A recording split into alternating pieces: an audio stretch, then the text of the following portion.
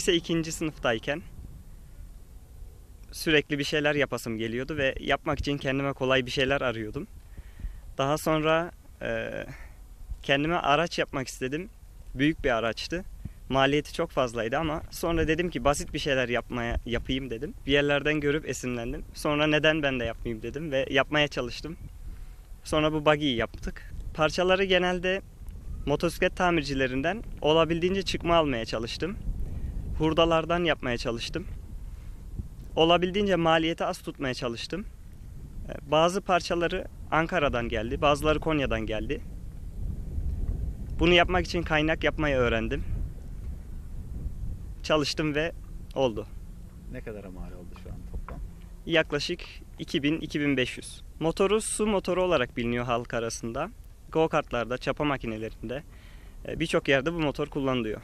Tabii ki ideallerim var. Hedeflerim ve hayallerime ulaşmak için bir çabam olması gerekiyor. Bu buggy projesi de bu çabalardan bir tanesi. İlerideki hayallerim Türkiye'de bir üretici olmak. Bunun için böyle şeylerle uğraşıyorum.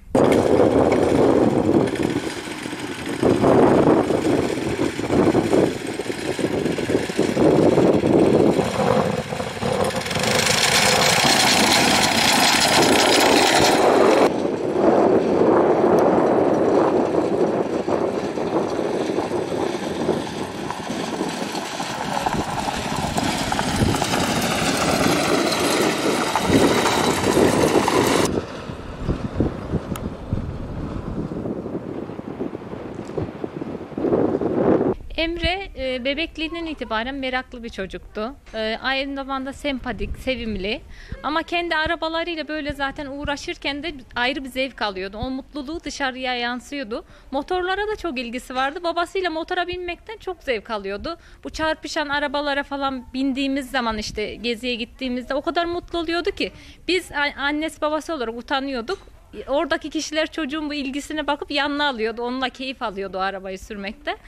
Ee, ilkokul çağında da robotik kodlamaya merak sardı yine okulda ve hocalarının da dikkatini çekmişti bu durum. Bu konuda da kendini geliştirmişti. Ee, arabayı da e, Covid süreci başlayınca Konya'da Anadolu Lisesi'nde okumaktaydı. Lise son sınıf öğrencisi.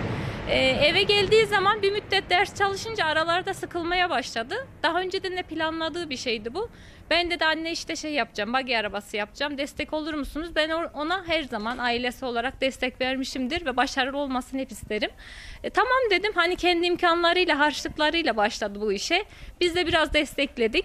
E, hatta Emre'nin akıllı telefonu yoktur. Onun yerine hani ben bu arabayı yapacağım bana o yönde yardımcı olur musunuz diye söyledi. Biz de seve seve dedik. E, o süreçte yaptı. Boş zamanlarında pandemi olunca dışarıya da çıkamadı tabii çocuklar bu süreçte.